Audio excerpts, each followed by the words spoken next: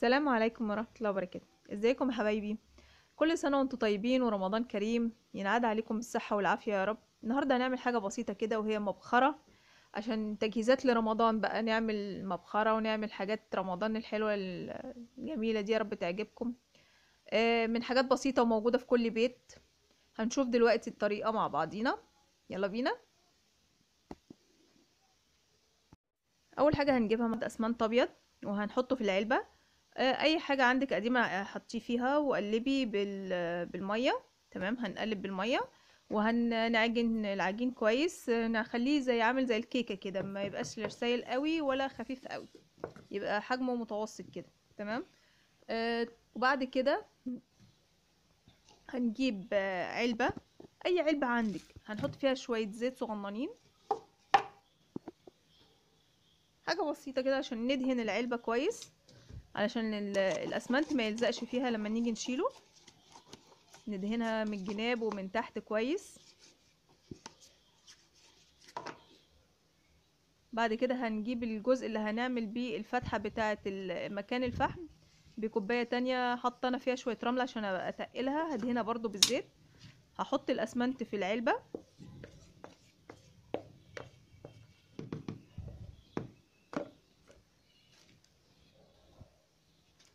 بعد كده هخبط عليه كده في الترابيزة عشان ينزل يطلع كل الفقاقيع اللي فيه وهجيب الكوباية اللي أنا دهناها زيت من تحت هحطها آه، في في نص العلبة بحيث إن هي تعمل لنا فتحة وهتقلها بشوية رمل أو بأي حاجة. خلاص كده سبتها من بالليل لغاية الصبح نشفت كويس.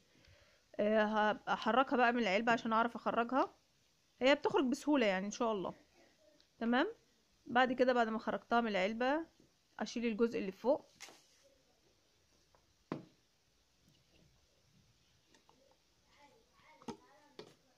وهيطلع معانا عشان إحنا دهنينه زيت هتبقى بالمنظر ده. آه، دي ممكن تعمليها طفاية. ممكن تعمليها لفازة تحطي عليها شو- آه، ورد في على الترابيزة. ممكن تعملي بيها كل حاجة. يعني شكلها دي ممكن بعد كده اما تشوفي ال- الفكرة اللي إحنا هنشتغل عليها هتنفع حلو هجيب صنفرة وأحط عليها حبة مية تمام؟ وأصنفر بيها كل الحاجات الخشنة اللي فيها. بعد كده هجيب منديل آه، أنشف بيه مكان الصنفرة وأنضفها كويس وأمسحها حلوة قوي. علشان بعد كده هنعمل إيه؟ هقول لكم دلوقتي. بصوا دلوقتي ده الغطا اللي بتاع ال- المبخرة. آه، ده عبارة عن إيه؟ عن الجزء ال- دوت غطا حلة من فوق والجزء اللي تحت دوت بتاع النجفة. الجزء اللي هو بيتركب في النجفة من فوق. فأنا خدته وجمعته مع بعض بالمنظر ده كده وقمت مخرماه بالمسمار. تمام؟ هوريكم إزاي بخرمه بالمسمار. أنا عملته بس هو سايبة سايبة يعني اوريكم الطريقة. يعني أنا خرمت الجزء ده كله. تمام؟ هوريكم بس أنا خرمتها إزاي. جبت مسمار اللي هو بورما عادي وضغطت جامد على ال على ال- الغطا. يعني حطيته كده في يعني وسطنته وسطنت ال- الخر... الخروم كلها تبقى زي بعضها ولفيته تمام؟ لفة كده بحيث إن هو دخل أقوم فكاه تاني وأخرجه آه، عمل لي خرم صغير. عملت بقى في كل الجناب كلها بتاعه ال- الغطا بالمنظر ده تمام؟ أعمل لكم واحد تاني. بس لازم يعني تتكي جامد عليه علشان يعرف إيه؟ يلف معاكي تمام؟ سهلة يعني مش صعب. خلاص بقت شكلها كده اهو. عملت لفيت ال- الغطا كله بالخرام. وحاجات عندنا كانت هتترمي يعني ملهاش لازمة. وبعد كده آه، طبعت ورقة من موقع بنترست عليها رسومات. قلت هعمل عليها شغل ديكوباج عشان ادلعها شوية يعني. آه، والشكل ده عجبني جدا. تمام؟ صنفرتها حلو. هاجي بعد كده أقصقص الرسومات ديت وأفرغها. كويس؟ آه، وبعد كده هاخد أشوف هاخد أنهي رسمة بالظبط. آه، هقصقصها كلها كده. هتبقى بالمنظر ده مربعات صغيرة. آه، هنقي الألوان اللي هي تمشي مع بعض. دول عجبوني. لقيتهم هيمشوا مع بعض. خلاص؟ آه، هاجي بعد كده هجيب غيرة أبيض.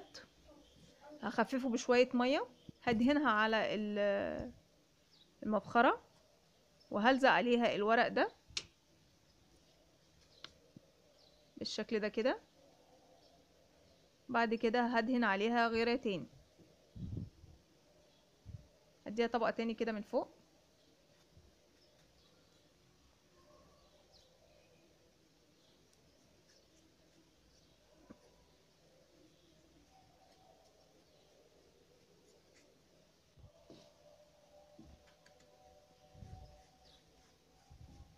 هعملهم كلهم. تمام هيبقوا بالمنظر ده كده لغاية لما آجي في الآخر خالص. أحطها.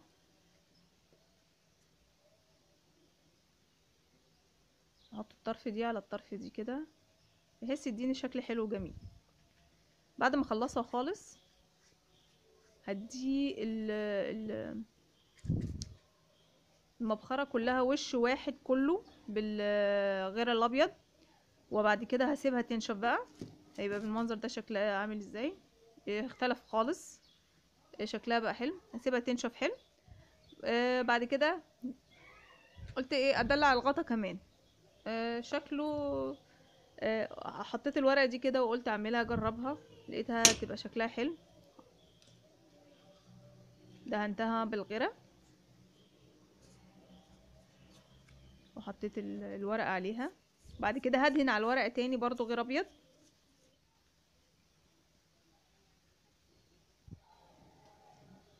تمام. يبقى بالمنظر ده كده. هسيبهم بقى ينشفوا خالص. بعد ما ينشفوا خالص عندي ورنيش مائي. آه ما تخافوش من الشكل الأبيض دوت. هو بعد ما بينشف بيبقى هو شكله كده بيبقى أبيض بس بعد ما بينشف بيبقى شفاف خالص ما بيبانش. هديها طبقة أو طبقتين حسب ما أنا عايزة. خلاص. وبعد كده هسيبها تنشف خالص. وأدي طبعا الغطا كمان. لما أجي بقى أحط البخور هحط ورقة فويل زي ما أنتم شايفين كده عشان برضو ما أخليش المبخره تكون مش نضيفه من جوه. يعني ممكن أستعملها في حاجة تانية ممكن أحطها زي بونبونيرة على الترابيزة وأحط فيها بونبوني ممكن أستعملها في أي حاجة. وزي ما أنتم شايفين يا رب تعجبكم. حاجة بسيطة في البيت ومن خامات البيت وفي كل وكل حاجة كانت موجودة من البيت. يعني أنا ما ما جبتش حاجة من بره. يا رب تكون عجبتكم يا رب. ولو عجبتكم ما تنسونيش بال like وال share وال... والاشتراك في القناة. وكل سنة وأنتم طيبين ورمضان كريم. أشوف وشكم على خير. السلام عليكم.